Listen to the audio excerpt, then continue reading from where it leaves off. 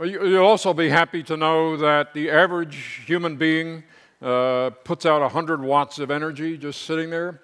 So there are 500 people here, so that's 50,000 watts of energy being generated by all of you, which is enough, uh, which is enough uh, energy to uh, cover the entire continent of Europe with a blasting radio signal, which we'll try to do tonight.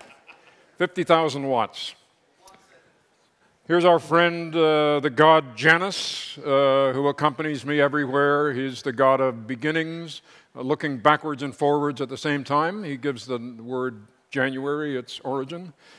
And we're at one of those uh, watersheds. Uh, always, you can look at any year and say, this is the end of something and the beginning of something else. Um, a hundred years ago, ominously, uh, feature motion pictures began with this film. This was uh, D.W. Griffith's Birth of a Nation. Uh, it celebrated, believe it or not, the Ku Klux Klan, and it was the first mega hit.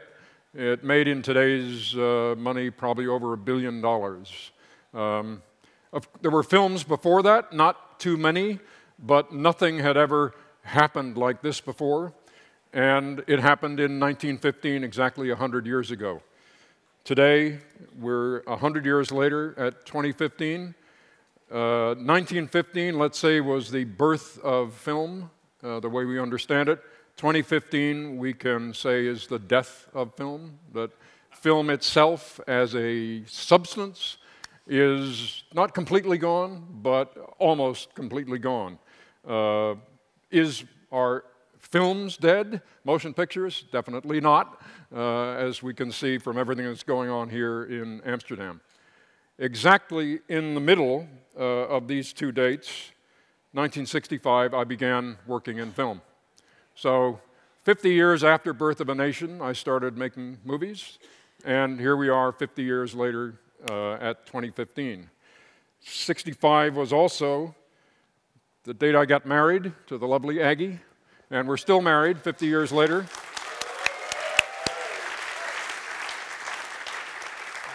Aggie would have loved to be here. She was at one of the SuperMeets and uh, gave out the raffle tickets uh, in, a, in an unduplicatable way. Uh, but she's in Argentina right now, where our daughter lives, uh, about to have a baby. So she's, uh, she sends her regards to everybody. Yeah. Uh, somewhere in the middle there, this is me again, editing on film, Apocalypse Now. I was looking for what we called a smitchy, uh, which was a one or two frame clip uh, that had slipped out of the bin and was down at the bottom of the bin. And I was pulling uh, some of the 1,250,000 feet of work print out of this bin looking for these two frames, which were going to make a crucial difference in some edit that I was doing. You can see the boxes up in the uh, upper right-hand corner. Each one of those contained 10 minutes of film. We lived and died by these boxes, and they too are gone. Along with this experience, uh, this is the mid 1980s. We were still working on film. This is Kerry Kohler, an assistant editor. Uh, he's reduplicating for you the moment of first blood uh, because editing rooms in those days were bloody. Uh, you marked uh, from the start of the job how long did it take before you got wounded by some of the very sharp objects that were around you. Uh, razor blades and splicing blocks and spinning uh, toothed gears and everything else. So that's uh, uh, experiencing the agony of physically editing film. This is Les Hodgson editing on the Moviola, which uh, accompanied film shortly after the birth of the nation. It was uh, invented. Birth of a Nation was edited without any kind of editing machine at all. It was simply by looking at film images and uh, having gut instincts about where this might uh, cut together. Um, anyway, the Moviola was our constant companion from the mid 1920s until roughly the mid 1990s. Uh, so that's a good 70 year span. Um, but there it is. It was a sewing machine on legs and uh, made about the same kind of racket. Uh, this is me uh, editing the last film I edited on film before English Patient was the film that I jumped to digital. Um, this was Jerry Zucker's film First Knight, and I was working on a KEM flatbed. You can see it there. Uh, two screens, a, basically a uh, uh, you know, a viewer and a record monitor uh, in today's terms. Um, over on the right-hand side, you can see those film storage racks. I'm, I'm cutting a scene, and that's the, my, my bins uh, are uh, on the KEM. Those are those rolls of film. I think that chair is still with me. Because uh, I, I was working standing up, you can see. I have the KEM up on those plywood boxes. Uh, I began editing standing up uh, in the mid 1980s. Well, I, I began in the mid 1960s, and then I went into a decline uh, period when I uh, started working uh, on flatbeds in the 70s, because then you set at them, and I said, in the mid 80s, I said, to hell with that. I'm going to go back to standing, and I've continued to stand. There's lots to say about that. I would, in, in uh, too many, in so many words, I would recommend it as uh, for your health and creativity to, to do it. So, despite all those changes, this is uh, another favorite quote of mine from Victor Fleming, who in 1939 uh, was nominated uh, for two films, Wizard of Oz and Gone with the Wind. Um, and it's good editing makes the film look well directed. Great editing, whatever that is, makes the film look like it wasn't directed at all, which is a strange thing uh, when you think about it coming from a director, but it's a truth. He was getting at a thing that was true then and is true now, which is when it reaches uh, a sweet spot, editing, um, it can make the audience forget that they're watching a constructed event uh, or an artificially constructed thing on the screen, and it simply takes over as an experience. And in that sense, you're not aware that there is a director, certainly not aware that there is um, an editor. It's also helpful to know that when motion pictures were invented, editing did not come along with that. In fact, it's a good time to point out the fact that the word editing is, is, is a bad word. I wish uh, English used uh, the word montage, which is uh, the, the word in Uh, Romance languages, French, Italian, Spanish, and it, it, means to construct, to put together. So, and, and it, it's in, independent of film. It just, if, if you call a plumber in to build the plumbing for your house, he would montage the plumbing to stick it together. And that's just that's another way of looking at what we're doing. It's kind of crude, but that's what we do. We take pieces of film and we connect them up and we try to get the emotional juices flowing through them uh, in the right way without any spillage uh, and delivering the goods where they're supposed to go. But the idea of taking bits of film and putting them together in a certain order that would somehow hypnotize an audience into thinking that this is actually continuous reality, which it isn't, and that it's really happening in front of them, which it isn't, uh, was a discovery that was made about 14 years after the invention of motion pictures themselves. So from 1889 to 1903, we had mostly what you can see today on YouTube. You know, single shot movies that lasted a, a minute or so, uh, cat videos basically.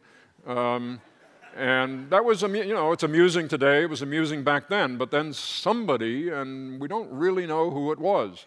The, the arrow is pointing at a guy in England named James Williamson, uh, who in 1901 began to experiment with this stuff uh, of putting together pieces, and the, the mind would somehow follow it. Um, so in 1903, uh, this idea began to take hold, and as I indicated with uh, our, our, friend D.W. Griffith, by 1915, it, it had really taken hold, and the, the world that we live in, as far as cinema goes, began at, at that point. That, that was the, uh, the, the, the, landing uh, on Earth of this new art uh, form. Um, a couple of years ago, I was in London at the Tate Modern and uh, went to an exhibit by uh, Tacita Dean, who's an artist, who was lamenting even then um, the, the film, although the exhibit was uh, set up as a way to celebrate film, but it, it had, if you knew how to read the, the tea leaves, it, it had another context, which is farewell film. Um, and there's the, this big monument uh, in the central turbine hall of the, um, uh, of the Tate Modern, of this big sprocketed uh, thing, which the kids loved. See if we can play this little movie.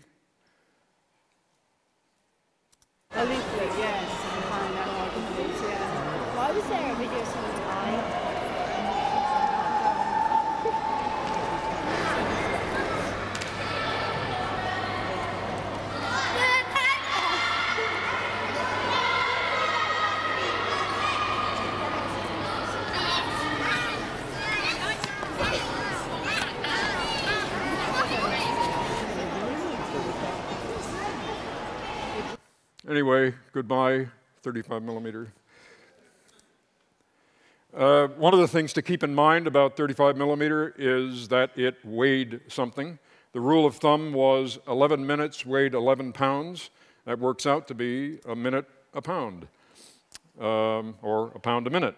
It's uh, Apocalypse Now, which uh, had 250 some hours of film, works out to be 14,160 minutes or seven tons of work print uh, scattered all over the many, many editing rooms that we had going, where there were three editors working simultaneously.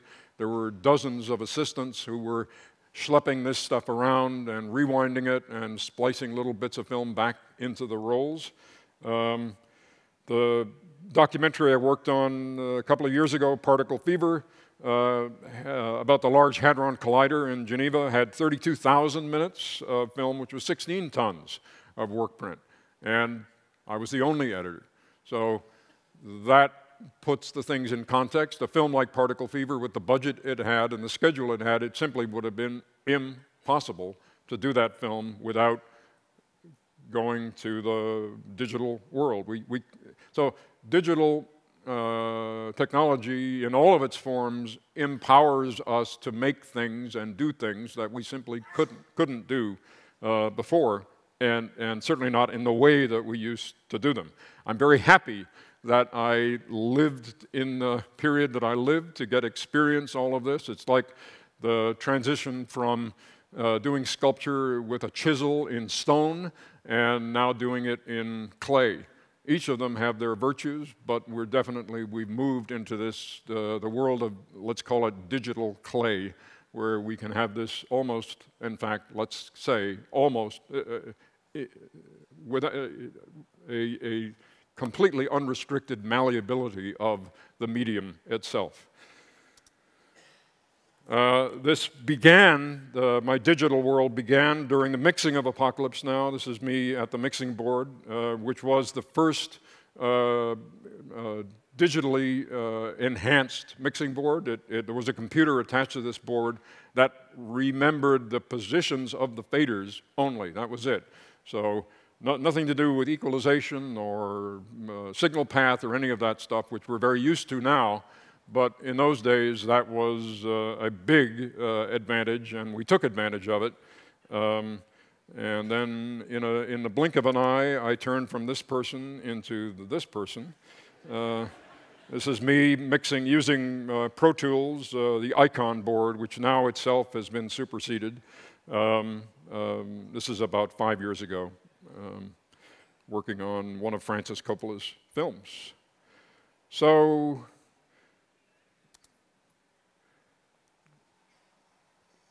and this is that film. Uh, I, I, was editing this in Argentina. Uh, this is my editing room. Um, I had the luxury on this, uh, which I, I, hope all of you experience at one point, of having my editing room in the projection room, in a corner of the room, so that I could turn from my editing screens and simply look at a screen that was about this big. Um, you see it on the left-hand side of the screen. Um, so, um, you know, you, you, would do something and then just turn, and there it was uh, on a big screen in stereo in, in 3.1 sound is, is the environment, sonic environment that I was working in. Um, and I was using Final Cut 7 on that, and um, I continued to use Final Cut 7 until it disappeared. Um, as Ronald Reagan said of the Democratic Party, I didn't leave the party, it left me. Uh, uh, something similar happened with Final Cut. Um, the contrast, this uh, space, which uh, this film was like a $3 million movie. Um, this is my space, which was considerably reduced on Tomorrowland, which was a $200 million movie. Um, this is during the shooting of uh, in Vancouver. This is my setup. Uh, there's a plasma screen that you can't see off to the right, and I was using Avid on this. Um, I had used Avid uh, for roughly eight years, from 2005, 1995 uh, to 2002. after that, I switched to Final Cut, um, so I, I, got back in the saddle with Avid uh, for various reasons that we can talk about again. Uh, it, it, had to do with how many people there were in the editing suite, many. Uh, it was a highly visually affected film, and so everybody had to know Avid and or whatever system we were using, and that uh, pushed the decision uh, effortlessly toward Avid because everybody knows in the professional world you just have to know how to use Avid. I was happy to, to use it. I was interested in, given how many years had passed, uh, 11, 12 years since I'd last used it, how little had really changed in, in the process. Um, I was particularly frustrated with the fact that I was limited to just 25 audio tracks because I'm an audio person and I love to spread out uh, my tracks. I love to do a lot of stuff with tracks. I love uh, all the things you, you can do with uh, sound. So here I am uh, now in London. Uh, you can recognize it's the same uh, setup. This, this, is the editing desk, which is an architect's table that I bought for English Patient for $100 back from IKEA. Um, thank you, IKEA. Uh, it's held up very well, and uh, I'm very comfortable with it. I'm standing at it. There are two secrets for me to standing up. One of them is just give it a try. Uh, that little stool down there uh, is the secret. Uh, if you look behind the counter at any perfume counter uh, in a department store, you will usually see some version of that. Because for people who have to stand all day, it's very good to alternate legs so that you're not standing on two feet all the time because then eventually your back caves in. So if you do that, your lower back rotates uh, outward and it saves your lower back. And the other secret um, is it's just a wrist rest, um, but it's in a little trough there which came with the table, and I, just took advantage of it. But it means that I can kind of lean up to the bar. I can lean on the table like you would lean at, at the bar at a, at a pub, um, and it's soft. And so I'm not putting all of my weight all the time on my legs. Plus, I don't stand all the time. I have an architect's chair, uh, and especially when I'm reviewing things or looking at something that I've done, looking at dailies, uh, then I sit down. It's, it's only when I'm actually actively putting stuff together or actively unputting stuff together, doing things, that's when I'm standing. And I stand for the same reason that an orchestra conductor stands the same reason that a cook stands, the same reason that uh, a surgeon stands. Um, all of these people stand to do what they do, and it's for a reason because all of those uh, activities and many more are time dependent. We have to get this operation done in the next two hours, and things have to happen. And under those circumstances, standing gives you a sense of time that you don't have when you're sitting down. And for editors, time, a sense of time is everything. Not every everything, but a huge portion of it. So standing makes you feel the frames, the, the, the sequence of events in a different and I think better way than sitting down. Not that uh, you know, I know many wonderful editors who sit down. I sat down myself for a number of years, and I edited wonderful films sitting down, but I, I just I recommend standing. Anyway, I'm now using Premiere. So I've gone from, yeah, from the uh, Moviola to the KEM and Steenbeck, flatbeds, to the Avid, to Final Cut, and now I'm working with uh, Premiere. And since I'm working in London, I made this red L uh, to remind myself that I'm learning. Uh, and if you walk around London, you'll see uh, people zipping by on motorbikes and cars with the red L in the, on the back of them or the window saying, This is a learning driver. So here, this is a reminder to me and to everybody that uh, I'm still learning it. I've been using Premiere now for three months, and I'm having a very good time doing it. Um, I had a nice meeting with the uh, top engineers and executives at Adobe um, uh, yesterday morning, and I prepared a 12 page memo of what I call bugs and butterflies. Uh, bugs, we all know, butterflies are the opposite of bugs. They're wonderful things, and happy to celebrate them. Uh, eh, yes, indeed. And, uh, and also WBGs, uh, WBGs, would be goods. Uh, this is really great, but it would be even better if. Da, da, da. So they're very receptive uh, to these things. I, I was having breakfast with Joel Coen in London on Friday, and he's, he was, he's using Premiere on his new film, Hail Caesar.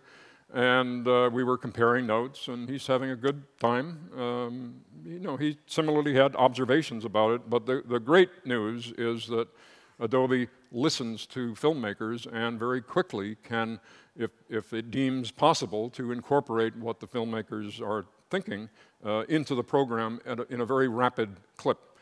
Um, uh, at the uh, Adobe booth uh, over the last couple of days, I was demonstrating my idea, which was to have a trim on the fly feature, which uh, Avid has, Final Cut has, but Premiere did not have. And I said, You got to have it. This was back in March in San Francisco, and by May in London, it was there in, in the program. So uh, uh, I, am not going to go into details about it, but it's, uh, it's just it's dynamic trimming that gives you a readout of how many frames off or on or plus or minus you were at that uh, the, last, the last time you made a cut actively as the film goes by at 24 or 25 frames a second. So this, this is another reason I made the shift. This is the timeline from, um, uh, this is Hemingway and Gellhorn, uh, Phil Kaufman's HBO film that I did in 2011.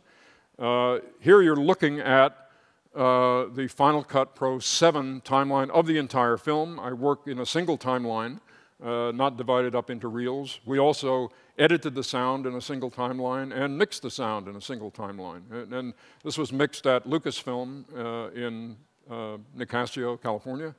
And it was the first time many of those uh, people there, very talented, top of the line people, had worked in a single file and they loved it uh, for various reasons. So what you're looking at is, uh, as I said, the entire film, but it's split. The equator runs through the middle. Everything north of the equator is picture. Uh, and here it's divided up into tracks because each track has uh, a clips that have to have something different done to them. This, we're just getting ready to export all of this to, uh, to go online. Uh, so that's why it's quite as exploded as, as it is. Uh, the, the, top stuff, which is dark, is um, what in Premiere would be called adjustment layers. Um, we just called them back then, let me remember, they were uh, empty video tracks or something like slugs, empty slugs.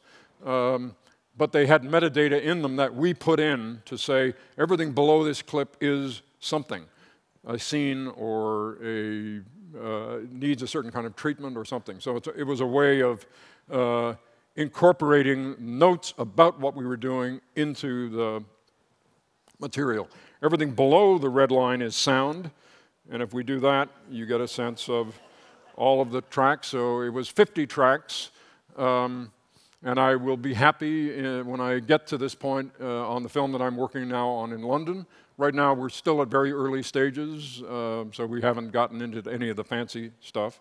But the top eight tracks were dialogue, and then there were two tracks of narration, then two track, uh, four tracks of mono effects, and then two tracks of mono with LFE, low frequency enhancement. I, I was working in a 3.1 environment, LCR boom, uh, or LCR LFE, uh, and then stereo effects with LFE, uh, stereo score music with LFE, and then stereo source music with LFE, and then three tracks which were uh, LCR premixes by the sound effects editors who were cutting already, as we were editing, we had exported sections of the film uh, to Lucasfilm to say, could you do some stuff here for the battle scene? And when that would come back as a, uh, a three-track LCR, I would, I would bring that in, and it lived on these last three tracks down there. Uh, visually, one of the advantages of Final Cut 7 and Premiere is that you can disable tracks, you can lock them, and they turn gray like that. And there is nothing on those gray tracks. They're there only as visual separators to remind me, uh, you know, looking at 50 tracks simultaneously can give you a headache and make you very dizzy. Uh, this way, if, if I look at it, then I can see, oh yeah, that's music. Oh yeah, that's source, that's score, that's mono stuff. So it, it's a neat way very quickly to visually um, uh, help you uh, separate out things uh, mentally just by looking at it. What, what I did at today at the IBC um, was talk technically uh, about editing and specifically about editing with Premiere. I touched on some of these things, um, but what I'd like to do now is shift gears a bit, uh, given the fact that I'm uh, been doing this for 50 years and talk more globally about things that are independent of whatever system you're using. And, you know, they're, they're all fine um, in, in the, the bottom line. Uh, Avid, I, you know, it's fine. Uh, it just has some restrictions that I wish weren't there. Um, I'm very interested in Premiere. I see a few issues with it, but th they are on the way to being solved. Um, Final Cut had this thing happen to it. Um, and I wish it well. I, you know, I think Final Cut 10, um, you know, thanks to third-party developers, will get back uh, to something that people will feel very comfortably using professionally. Um, I'm not quite at that place yet with it. Uh, and as I said, I'm, I'm just curious about systems. I love to get try new systems because it teaches me it's like learning a new language. You learn different ways of looking at film by the fact that the systems are slightly different. But, you know, they're, they're similar in, in the same way that if you go to the airport and rent a car, it's almost doesn't matter what car you rent, you, you know how to use it. You know, it's got automatic transmission or, or semi-automatic transmission, and uh, this is the steering wheel, and this is the shifting gears, and there's the brake, and you know, there are minor differences, but nothing compared to the way it was back in the time of uh, Birth of a Nation, where there were completely different operating systems in automobiles. There were steam cars, there were electric cars, which may be coming back. Now, there were gasoline powered cars, and among gasoline powered cars, there were very different ways of braking. Um, the Ford cars had a very strange way of braking, which involved the clutch. I, I don't understand it, but you, you, if you were used to one kind of car, it was very hard to make the shift to another kind of car. Uh, now that's not an issue, and that, that, seems to be what's happening with editing systems. Um, let's forget about the systems themselves uh, and talk about more global issues. One of the things I'd just like to raise a flag about, uh, because there's a lot of discussion of, okay, we're leaving film behind, we're moving into the digital world, which is great on one hand, but there are people, um, filmmakers who say, I, I can't, I, I, love the look of film. I can't leave, I have to shoot on film.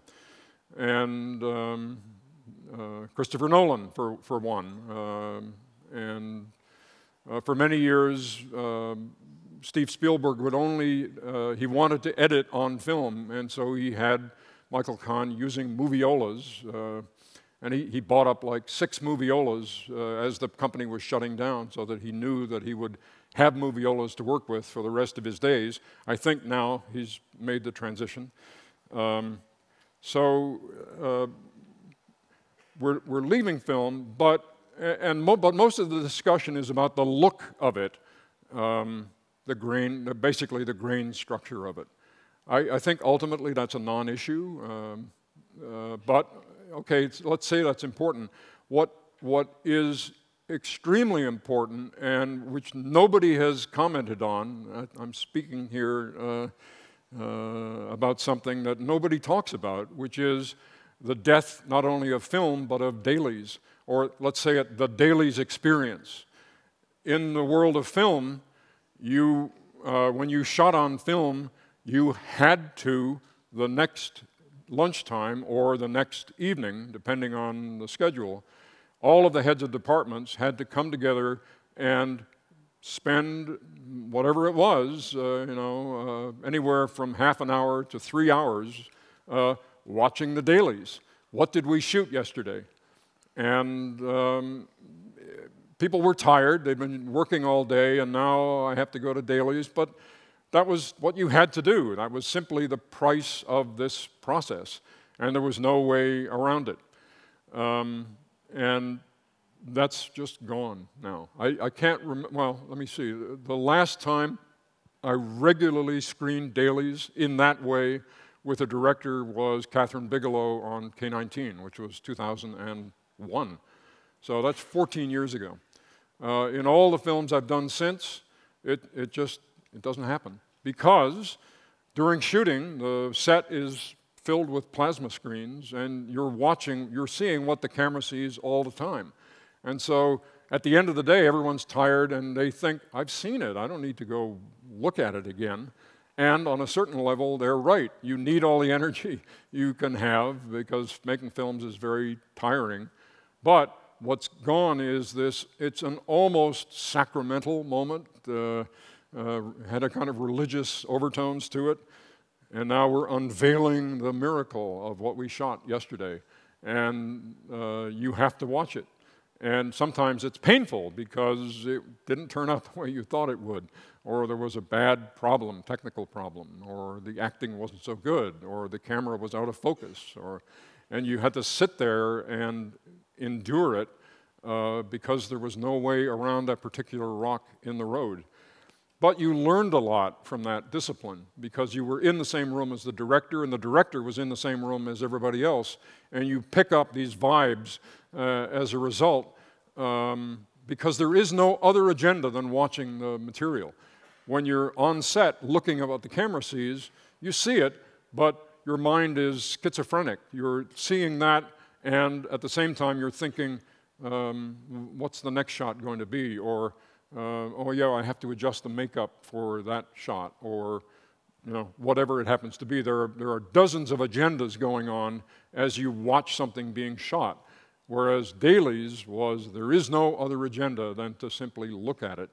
And that brought a knowledge to, the, to the, what you did the next day that I think is unduplicatable, but it is now being lost.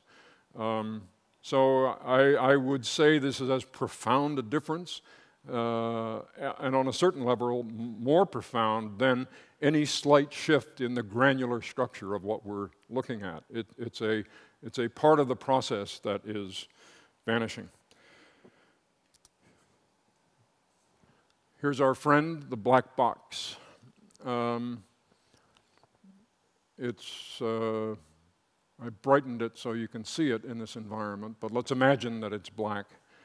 Um, one of the things that digital filmmaking has done is push out into the open a conflict that has always been there, uh, but now it's everyone can see it and everyone has to come to terms with it.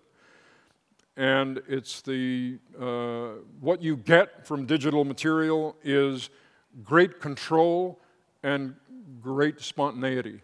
The equipment is very light and very flexible, and you can take a GoPro camera, as I was reading today, and take it up in a balloon to the edge of space and photograph the world. An ordinary person can do this. Uh, you just take a weather balloon, put a GoPro camera on it, let it go, and you know, it's you have to somehow get it back. But you can do this yourself. You can, you can photograph the world from the edge of space with a camera that costs whatever it is, a couple of hundred dollars. Um, so you can do that, and at the same time, you can, be, you can work at Pixar, where you have control over every pixel of the film. Uh, there is not a single pixel in a Pixar film that has not been uh, consciously or unconsciously blessed with the holy water of Pixar. Yes, we approve of each of you 12,000 pixels in this frame. Uh, and if I don't approve of them, I'm going to change you. Uh, and that frequently happens.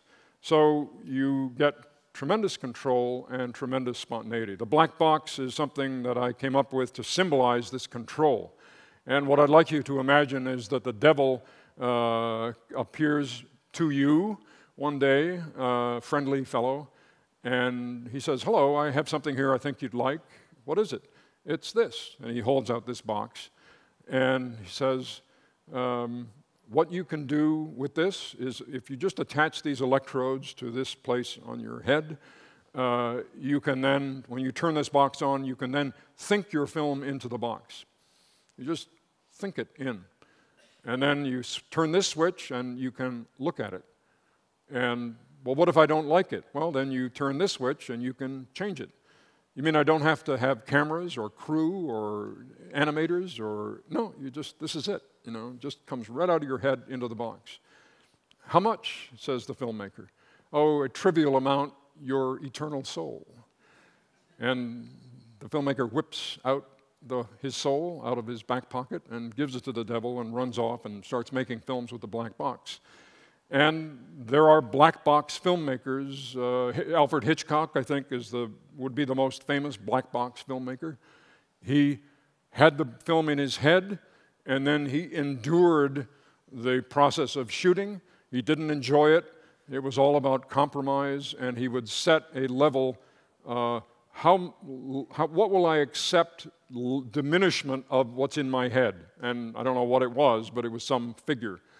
And um, then he would get back to the editing room and start putting it uh, together. But I think if the devil had appeared to Alfred Hitchcock and said, Here it is, he is the kind of filmmaker who would take it. Um, it it's the, the, the prognosis for digital is more and more control. And there are simultaneous developments that are happening at universities all over the world, particularly at Duke University in the States, where this mind control of things is actually happening. Now, mind control can make things do stuff. You, by simply thinking something, you can get an object like an artificial hand to do a series of things.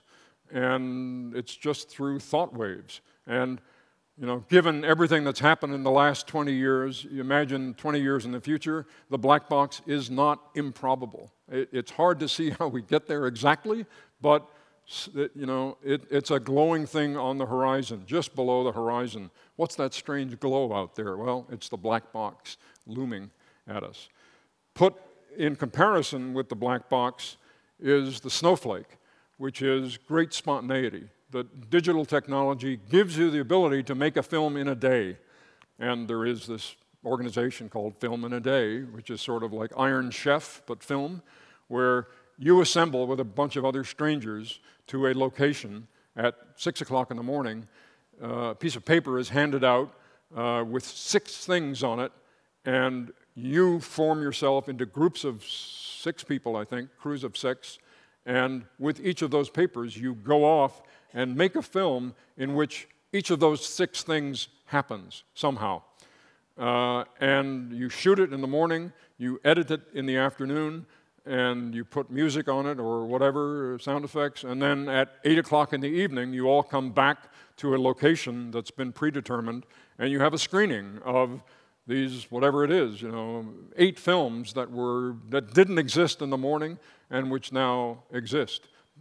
It, so it's fantastically spontaneous, but what you have to sac- let go of is uh, control. You cannot control the weather uh, in that kind of environment. You can't really control who your actors will be because of unavailability. You can't really control exactly the, obviously, the traffic in the background or the, the bird that flies past or any of these things. So they seem to be, these two things seem to be a zero sum game. They, they may not be, but there's certainly that element, which is yes, you can get spontaneity, but you have to let go of total control.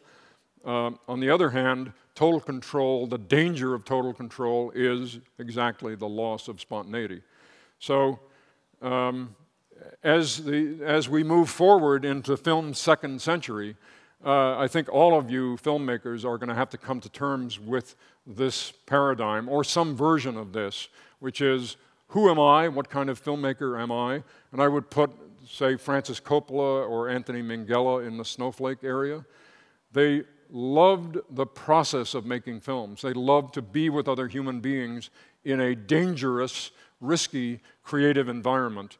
Uh, and they loved thinking up things at the last minute and figuring out a way to put it in the film. They loved other people contributing ideas that they never would have thought of themselves.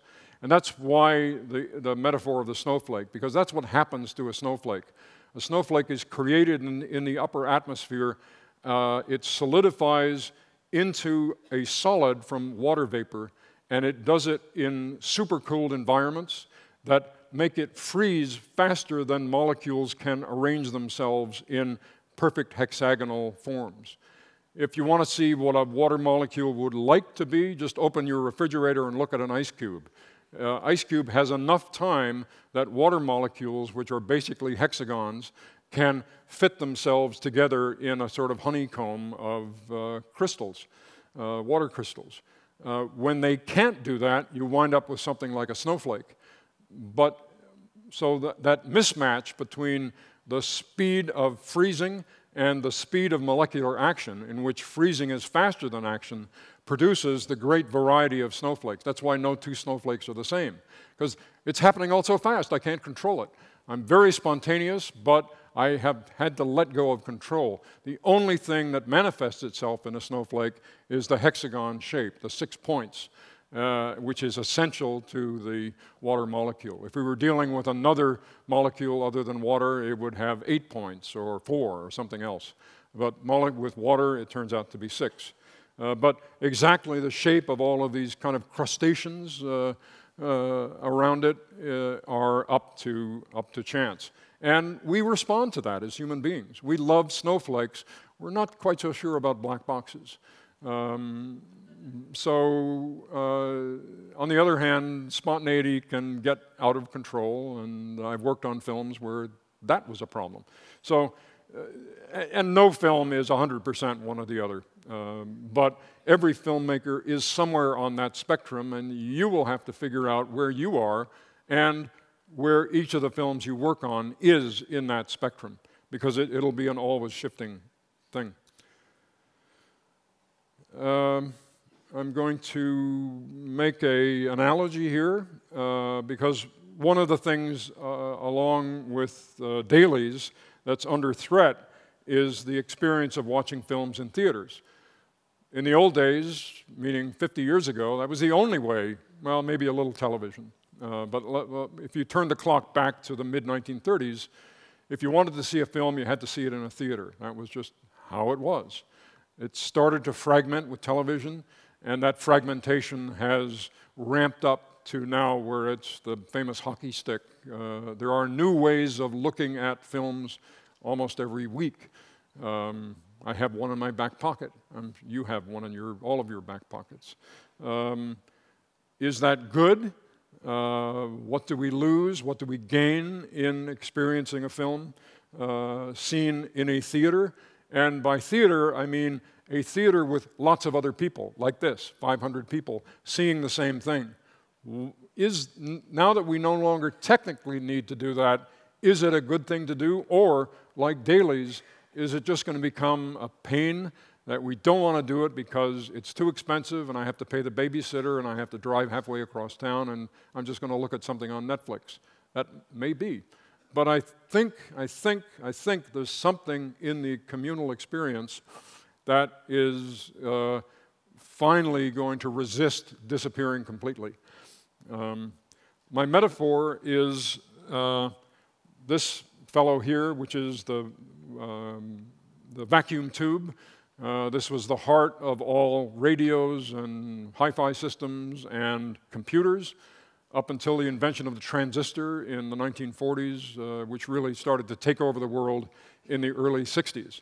Up to that point, if you wanted to amplify something, you needed one of these. And this was the invention of Lee de Forest, um, and uh, a fantastic invention it is. We no longer use these, but the basic principle of what's going on is in every integrated circuit and transistor. So this is particularly useful uh, because it's analog and it's so visual what's going on.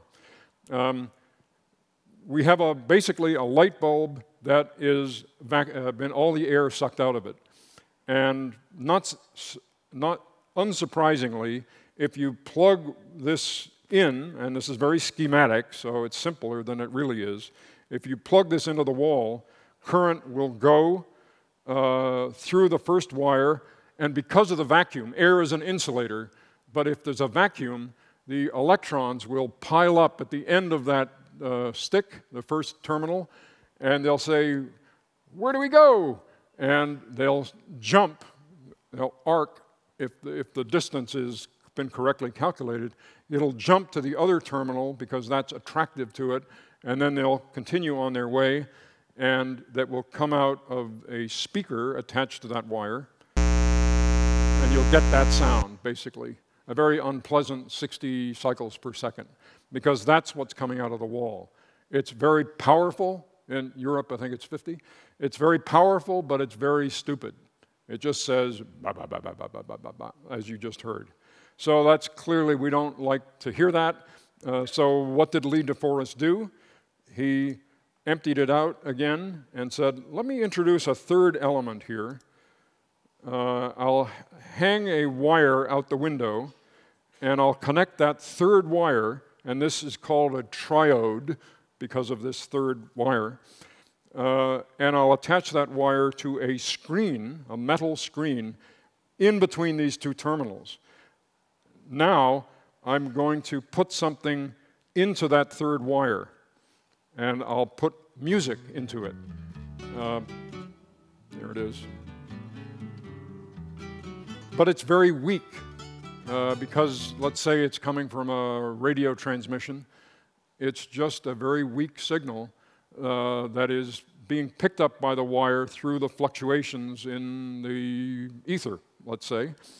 Um, and uh, it's, but nonetheless, it's energizing that screen extremely weakly. But now we add power. Uh, where, yeah, so that's the energy of the, the, of the music. The screen is dancing, vibrating electrically to the same patterns as the music, but very weakly. It's not enough energy. We couldn't connect up this third wire to the speaker. The speaker has, need, needs more energy to drive that piston in its electromagnet.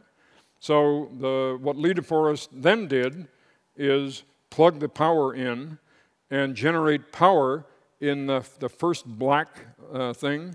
It would come up and it would make the leap from terminal to terminal through the screen. And here's the key, key, key element is that when this energy is freed from the shackles of being in a wire, when it's floating in empty space, it is extremely suggestible. It's, whatever's in the environment, it will pick up in mysterious ways, fundamentally, uh, so that it's going through the screen and it picks up the electromagnetic vibrations that are in the screen, which happen to be music. And so when it lands on the other wire and goes on its way, it is simultaneously power and coherence. So it's enough power now to drive the speaker, but uh, it's not that sound anymore, it's music. As I said, I've schematized this the hell out of it, but that's the basic idea of a vacuum tube. It's the basic idea of transistors and integrated circuits and all of these things. It's just particularly visual. So, where does this go? Well, let's do a little topographic uh, transformation here. So, anyway, power and coherence. So, you have one wire coherence, another wire power, and the vacuum tube puts them together into power and coherence loud enough so that, or energetic enough so that it can be transformed from electric to ac uh, acoustic signals, vibrations in the air, and we hear it. So let's do a transformation of that diagram. And now we're looking at a projector and a screen. And the light, just like the light that's coming from that projector onto this screen, is relatively weak. Uh, if, we, if this was daytime and we opened up some windows in this room, I don't think there are any, but if we did that, it would be very hard to see what's on the screen. We have to lower the light in here. This is changing because of, uh, you know, uh, ads that are, uh, you know, animated ads on billboards that you can see during the day. But anyway, the, uh, the equivalent of the signal on the antenna is that beam of light which is greatly coherent. And it takes a long time to make a film. Uh, let's say the average is about two years from starting to write the screenplay to when it's in the theaters. And lots of people work in this process. If you divide uh, two years um, uh, by the number of people who work on a film, you come up with 300 human years of work. So let's say 150 people on average over a two year period are working on this film, and that means 300 years, which is the equivalent of somebody in 1715 uh, saying, I'm going to make something, it's going to take me 300 years to make it, and at the end of that time, I'm going to show it to you. And you would be very impressed with that. Somebody who worked on something for 300 years, well, but that's what every film is, in a sense. It represents a endless activity of coherence. What does it mean for us as, an as editors to say, no, I'm going to cut here rather than there? It's because here is more coherent than there for this film. This makes more sense than that. When a director says, no, I want his shirt to be black, not red, because that's more coherent with his character when the cameraman says, I'm going to put a 50 millimeter lens on this rather than a 25, that's because this moment is more coherent when it's photographed with a 50 millimeter lens. So, and you multiply that by the 10,000 decisions that every person who works on a film every day has to make, it's all, hopefully, to make the film more itself. It's a growing organism. It's a baby developing in the womb of this process. And everything has to go into the right place so that when the baby is born, it's healthy and uh, it's got all its fingers and toes. Um, so it's weak, this beam of light, uh, and the sound that goes with it, but it's extremely coherent.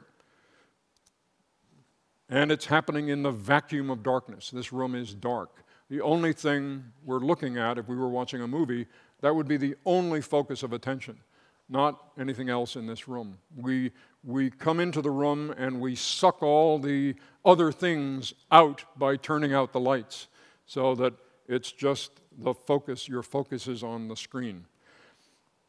And in that environment, just as the electrons are very suggestible, so you, if you have paid your money and you're sitting in the dark, you'd paid the babysitter, you're sitting in the dark, ready to watch the film, you are extremely suggestible. You're saying, Show me. I want to be impressed.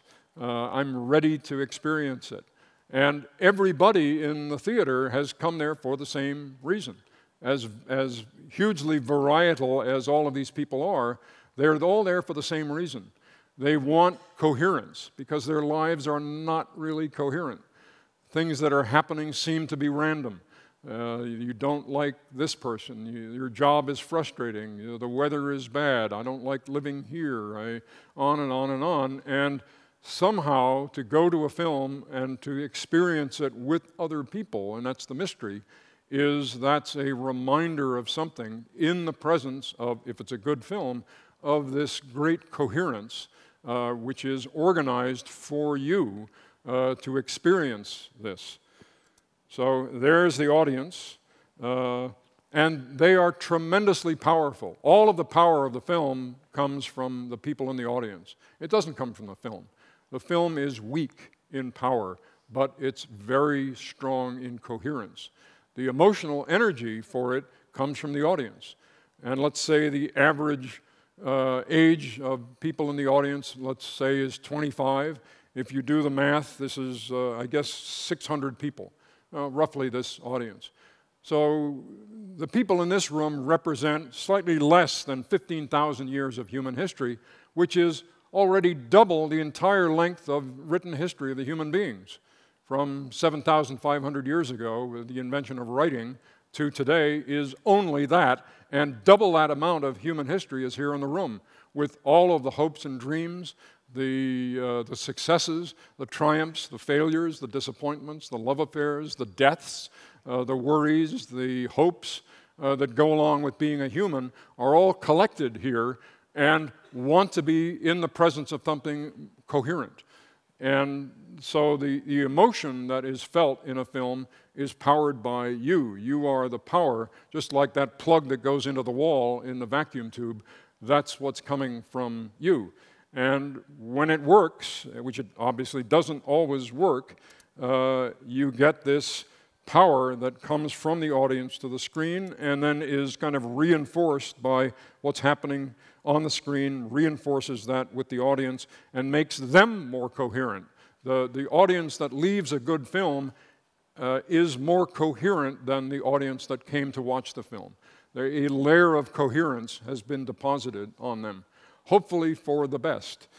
Uh, but as the film goes on, you get this continuous cycle of energy going, flowing back and forth from the great coherence on the screen to the great power uh, coming from the, the audience.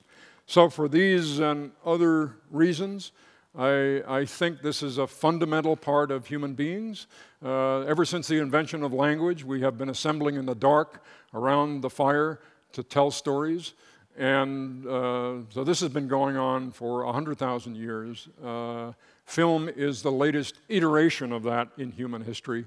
The difference is that the flames themselves are telling the story. Uh, we gaze into the moving images and we're looking into the flickering flames of the fire and seeing the story emerge out of that flickering. Uh, but the experience is basically the same. And for that fundamental reason, I don't think it's under threat right now, and it'll be interesting to see where it goes, but I, I, don't think it will completely disappear. When I went to film school in 50 years ago, uh, the message from the teachers was the game is over. Film is gone under the threat of television. It's all going to be atomized. The idea of people going to theaters is so. The, the first words out of the teacher were get out now in 1965. You can still get your tuition back uh, because it's, it's falling apart and there's no job, there's not enough jobs, and it's all going to hell anyway. Um, so, you know, and in fact, about a quarter of the students on that, in that opening uh, uh, orientation class didn't show up the second day. They went into real estate or something else that was, um, you know, a more solid occupation. Uh, those of us who stayed thankfully, were present at a kind of regeneration. In the 70s, people started coming back into the theaters again. Um, and, uh, you know, now we're at another point in that, in that cycle. So we're, we're moving from that, and the last thing I wanted to talk about is uh, even more speculative, but it's based on uh, an essential neurological truth which is that uh, the human brain, the way it is carried around in each of our heads, uh, it has three operating systems.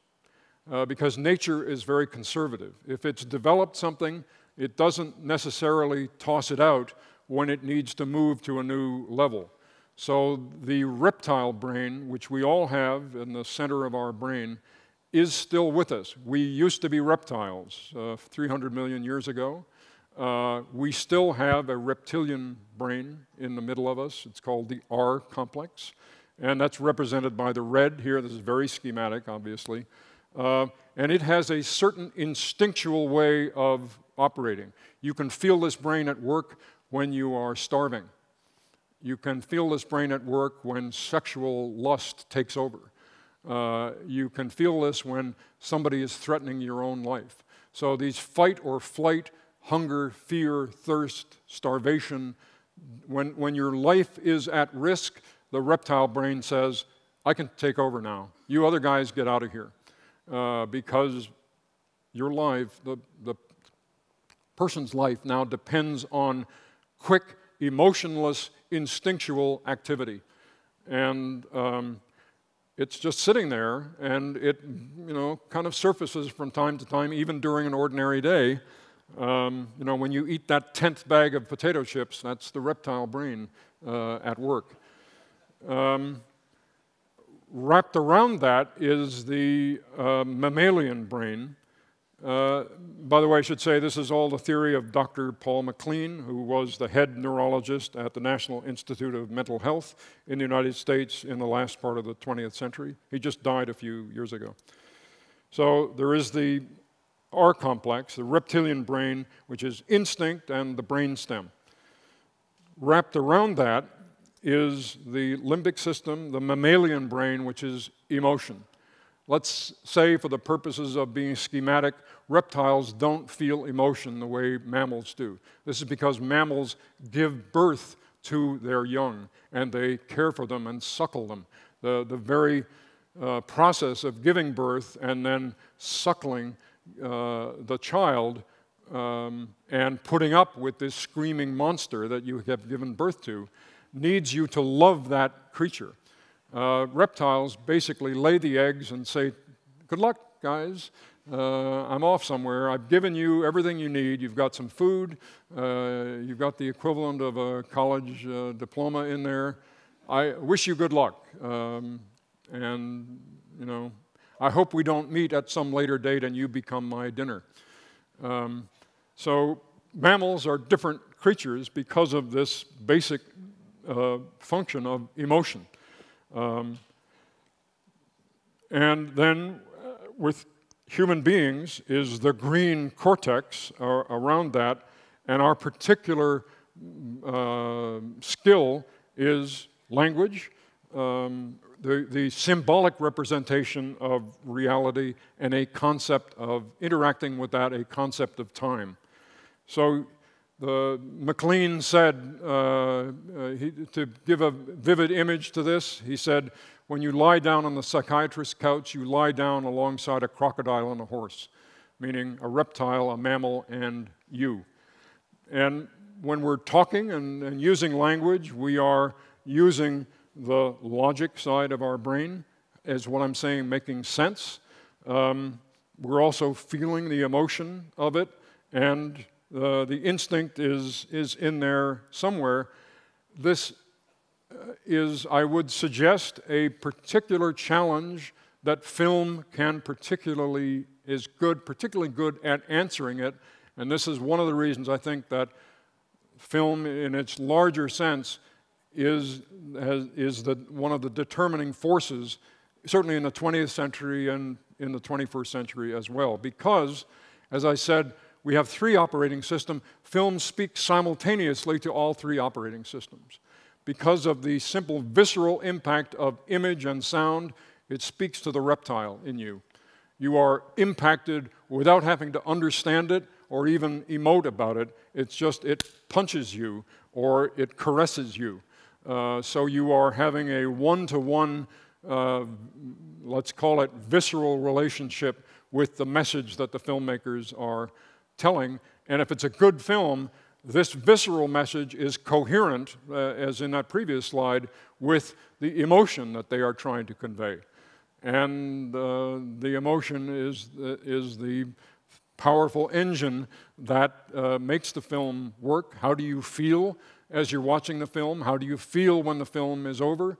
If you didn't feel anything or you felt the wrong things, you usually get up and leave the film. Uh, if you don't, at the end of the film, somebody said, How was it? You say, Eh, uh, because it didn't touch you emotionally. And then it has to make sense. There, there, and film is full of language uh, because it's the spoken word. Um, and that language and the construction of the story has to make intellectual sense. Uh, not in any refined way, but just what happened? Oh, yeah, he said he was in love with her, but he really wasn't because he loved the girl down who worked down at the 7 Eleven. And you know, he and that girl concocted this plan and they stole the car. Yeah, that makes sense. And then, you know, one thing after another. It, it has to make logical sense for it to work. When we look at history and we look at uh, the distant past uh, with the right kind of binoculars on it, we look at ancient Greece, for instance. When a society is in a good place, it's because everyone in that society is responding to the same myths at these different levels. And that's what the Greek myths are, are stories that in their own way talk to each of these operating systems. The gods are larking about having love affairs with each other and uh, you know, devouring other people and doing all of these crazy things at the reptilian level. But there's also emotion and there's also a strange kind of logic. And if you can get a society to agree on all of that, then you feel that that society and the people in that society feel unified. A society, you know, a society is destroyed, and Aristotle even talked about this, when their dreams become incoherent, when the sense they make of the world is divisions and separate things. And, you know, we see this at work today in conflicts between societies and also conflicts specifically in the United States right now, between political divisions, between red and blue. Uh, they just are seeing different worlds and they're not agreeing on the myths that underlie that. And film, uh, the challenge of film at the deepest level, and I think the thing that even if we're unaware of it, that we recognize the power of film, is that it can, it has the ability to talk at these levels in a coherent way and hopefully make the society that they are addressing, which might be the world society, to make it a, um, a, a, better place. I'm going to leave you with one last thing. Um, this uh, is a, um, it's a, it's a phenomenon that I call the parade effect, and I experienced it uh, back in November when I was fired off of Tomorrowland, and I suddenly found myself from one day working, the next day not, suddenly cut loose. And, but this happens in all circumstances uh, at the end of a project. If you've been working on a film for a year, uh, which is not unusual in editing, um, at the end of the year, the film, you, you, the, it gets more and more intense as you try to meet the deadline, and then suddenly it's over, and now you're uh, not working anymore. You're back home staring at the walls. Um, and a very funny feeling uh, comes over you, which nobody explained to me back in 1965. They didn't take me aside and they said, Walter, watch out for the parade effect. So I had to discover this on my own. And you, have already discovered parts of it. I'm just going to articulate something here that many of you probably already know, which is um, what, I, what I'd like you to do is look at this circle, and I'm going to animate it now. Stare at the center of the circle and then when the animation stops, look at the pattern that is, um, uh, comes on screen. So this will last about 20 seconds. Just stare at the center of the circle.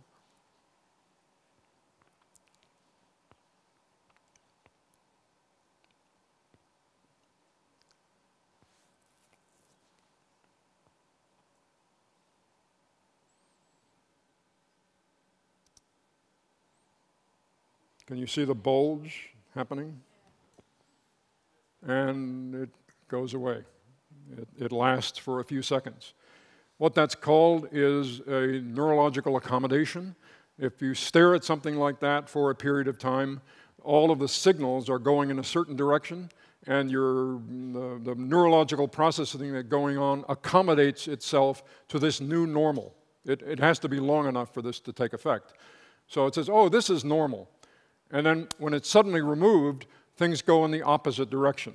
And this is also called the waterfall effect because you can do it with a waterfall. If you stand next to a waterfall, stare at the waterfall for a minute, and then turn and stare at the rock over here, the rock will seem to be flowing in the opposite direction. And I experienced the, the reason I call it the parade effect is that I uh, experienced this watching the Macy's Day Parade in New York in the 1940s. Uh, and I would, my mother would take me and I'd run through the crowd and sit as close as possible uh, at the edge of the crowd and watch the parade go by for an hour. And then the best part, when the last balloon had gone off, I would look down at the asphalt of Fifth Avenue and I would see it flowing in the opposite direction. And at first I didn't know what the hell was happening. It was like, what's that? It's oozing. Well, if it's oozing there, it must be coming from there. So I'd look over there, but that would be oozing too. And then where's it going? It's going there, but that would be oozing. And then eventually it would go away. And then I thought, well, th- th- in, in a five year old way, I thought, this is an illusion. This is happening here, not there. Um, and it happens to us at the end of a film because of this coherence issue that I'm talking about. When we think about working on a film, we're like this little red guy there and the film is a mountain that we're climbing. And we imagine that uh, at some point at the middle of November, this film has to be done. And we imagine that as the top of the mountain. And uh, every day you go another few steps up the mountain and you think, someday I will be done with this film and I, it'll be great, I'll be at the top of the mountain. And, but because of the accommodation effect, uh, this isn't actually, after a while, this isn't how it feels. It feels more, well, I mean, yeah, this is what we imagine is going to happen. So you go up the mountain, and then, whoopee, at the end, you stand on top of the mountain, and everything's great. But really, what happens is this that things that are, if, if you literally climbed a mountain every day for a year, your brain would say, to hell with this vertical stuff. It's basically horizontal. And this is, this is what happens when you know, people in experiments are fitted with glasses that turn the world upside down. After a day or two, the brain says, oh, this is the new normal, then I'll flip it back the other way. So even though the signal is coming in, being turned upside down by the glasses, the brain turns it back the other way. So the same thing happens here. A slope, if it's pursued endlessly over a long period of time, every day, you, this becomes the new normal, and normal is horizontal.